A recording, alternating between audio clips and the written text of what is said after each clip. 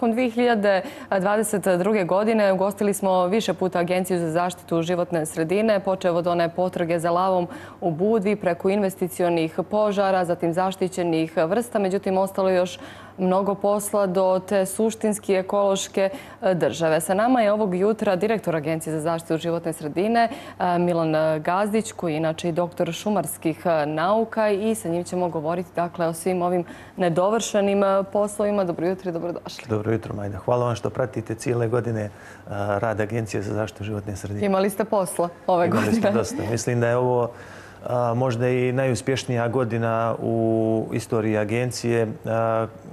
Agencija za zaštitu životne sredine postoji 15 godina. 2023. godine obilježavamo i taj mali jubilej. Mhm, doći ćemo i do toga. Ali evo, juče ste objavili da je agencija pokrenula procedure kod resornog ministarstva i zajednice opština Crne Gore da se ne izdaju urbanističko-tehnički uslovi za građenje zgrada sa staklenim fasadama koje pokrivaju više od 40 ukupne površine objekta. Zašto? Budući da je i agencija smještena u jednoj takvoj zgradi. Tako je.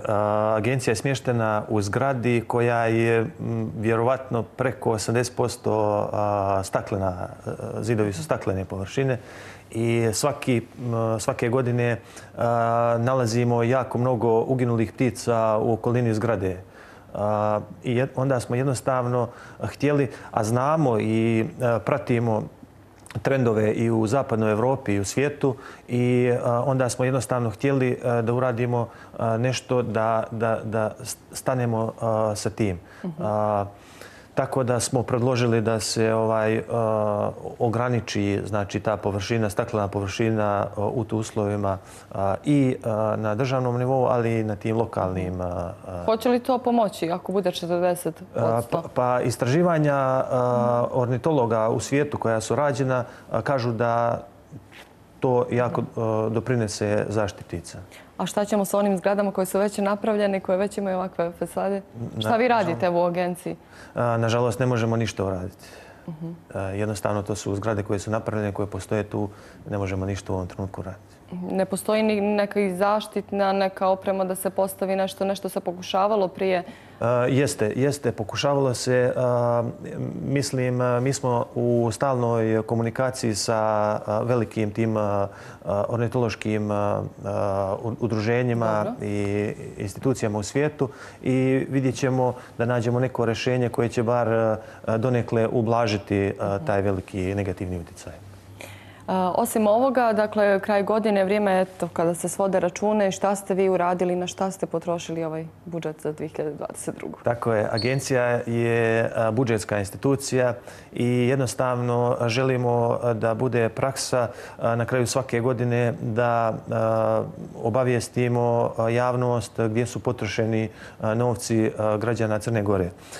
Ovo je, kao što sam rekao, možda i jedna od najuspješnijih godina agencije. Na primjer, samo ove godine smo imali preko 140 firmi koje smo obuhvatili ovim mehanizmom zagađivač plaća, a u godini prije i prethodnih godina, na primjer 2019. bilo je samo 28 firmi obuhvaćeno tim mehanizmom. Ove godine smo napisali 120% više rešenja, odnosno iznosi su za 120% veći. Taj mehanizam zagađivač plaća. Također, ove godine godina nam je počela sa hvatanjem lava u Budvi. Tu smo imali jako mnogo problema jer niko nije ozbiljno shvatio tu situaciju i na kraju kad se ispostavilo E, da je stvarno lav u Budvi, uspjeli smo da riješimo tu situaciju. E, lav je u Crnoj Gori bio nekih 6-7 mjeseci Sada je u Holandiji. Napravili smo jako dobru saradnju sa međunarodnim MV organizacijama i institucijama. On je trenutno u Holandiji, oporavlja se i sprema se za put u Afriku. Sve to građane Crne Gore skoro da nije ništa koštalo. Zahvaljujući donacijama firmi, nevladinih organizacija i zaposlenih u agenciji, A šta se dešava sa izgradnjom državnog prihvatilišta za životinje koje su zaplinjene na granici. To je priča koja traje već eh, 5-6 godina eh, u agenciji kod nas u Crnoj Gori. Eh, to je ta kockica koja fali u tom sistemu, u lancu koji, koji bi uspješno riješio pitanje ilegalne trgovine životinjama. Ove godine smo konačno uspjeli da dobijemo od glavnog grada jednu parcelu od 10.000 metara kvadratnih na kojoj smo već isprojektovali privremeno prihvatilište, državno privremeno prihvatilište koje će da smješta, gdje ćemo da smještamo sve te životinje koje uhvatimo, odnosno koje zaplijenimo u ilegalnoj trgovini i na taj način tu ćemo da oporavljamo životinje i da ih transportujemo i da ih šaljemo na njihove trajne. Gdje je ta lokacija? Lokacija je u blizini Podgorice, u blizini Maslina. Ja sad mhm. ne znam tako naziv. Dobro. Kada će biti izgrađeno to sklonište? Ja se nadam, mi smo u skoro svakodnevnoj komunikaciji sa institucijama, više institucija.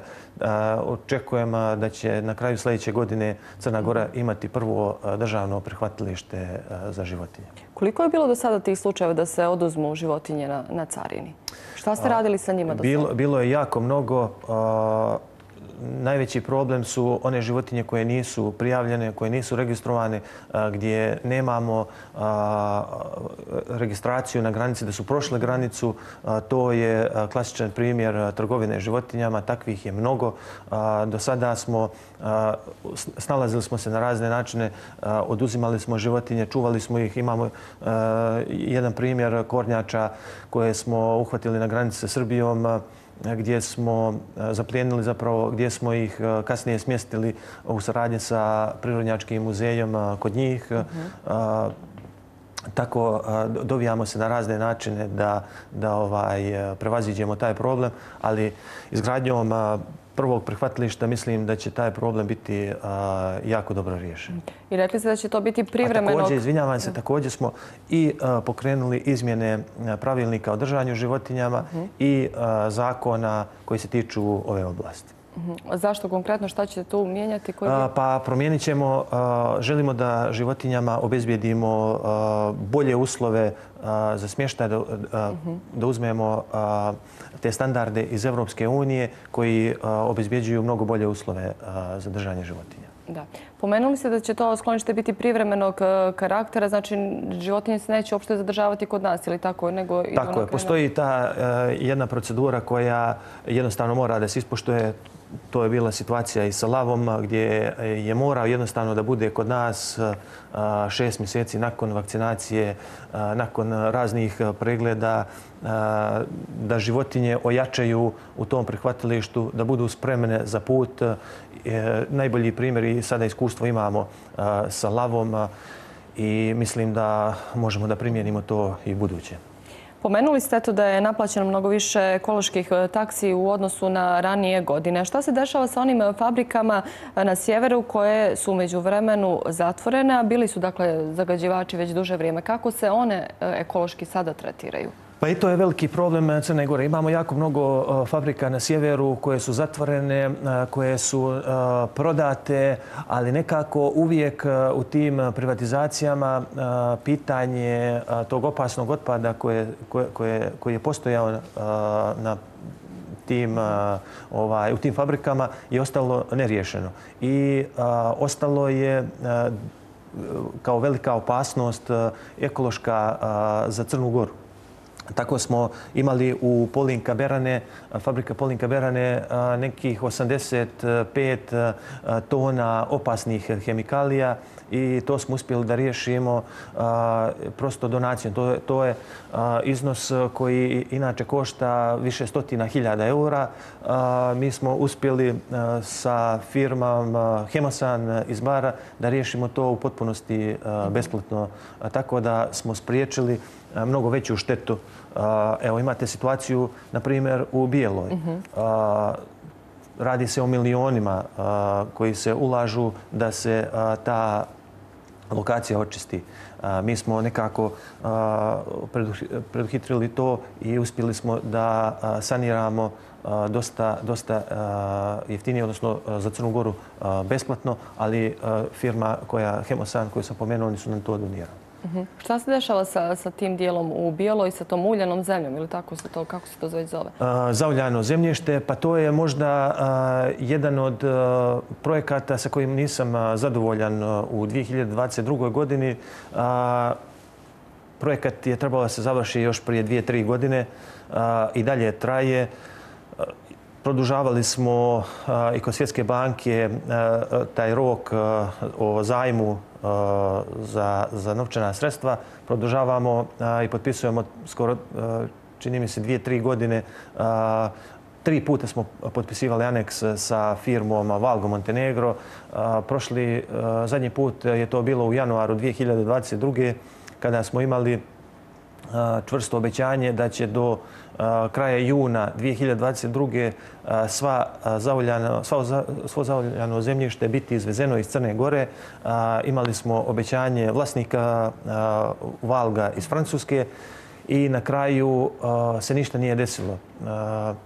Jednostavno, oni su izgubili dozvole od španske vlade i do dana današnjeg u januaru ili u februaru je poslat poslednji brod na kome je bilo čak i nešto više zemljišta nego što je inače po, po dozvolama i po mhm. propisima trebalo da bude i vjerovatno zbog toga španska vlada je iskoristila tu situaciju i oduzela je dozvole.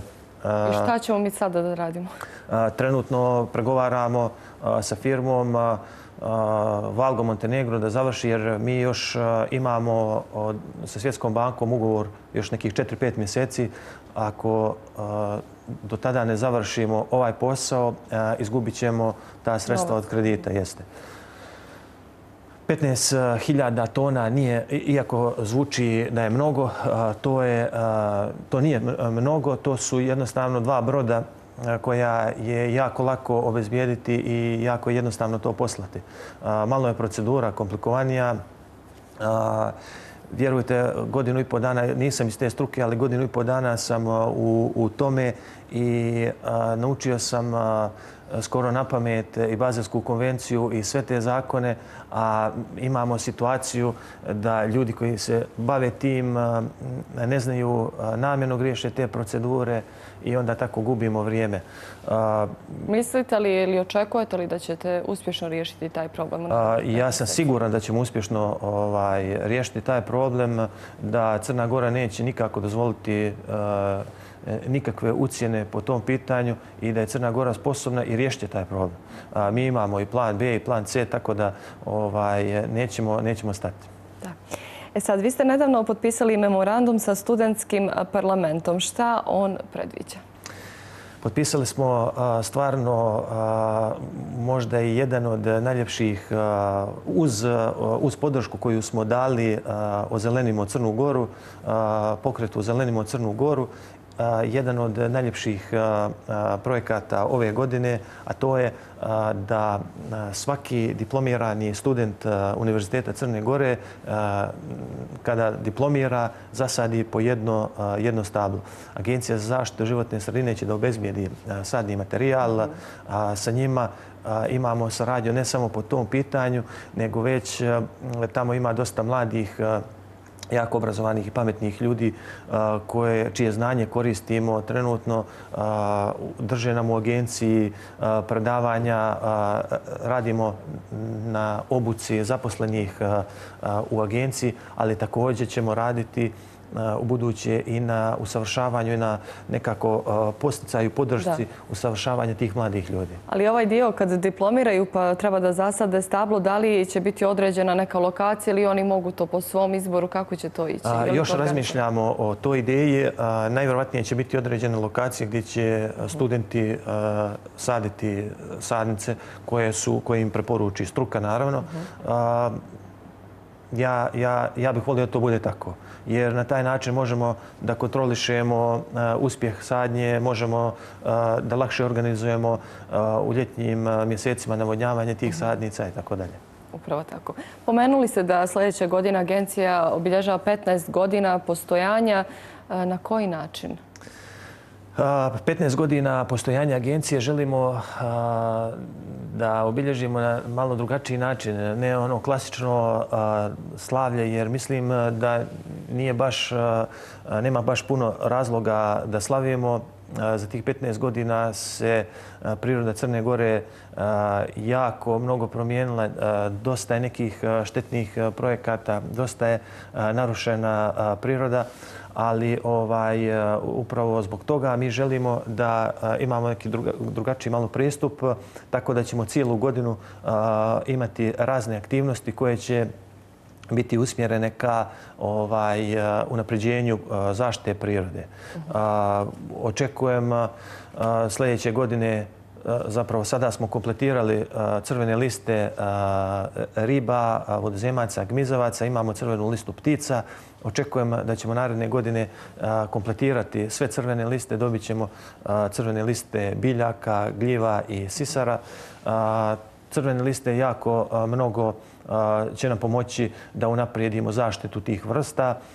Ove godine smo također završili i revizije 40 zaštićenih područja u, u zoni morskog dobra i posle 50, 60 ili 70 godina dobili smo prvi put precizne zone u nacionalnim parkovima. Skadarsko jezero, Durmitor i sada završavamo studiju zašte za nacionalni park Lovća.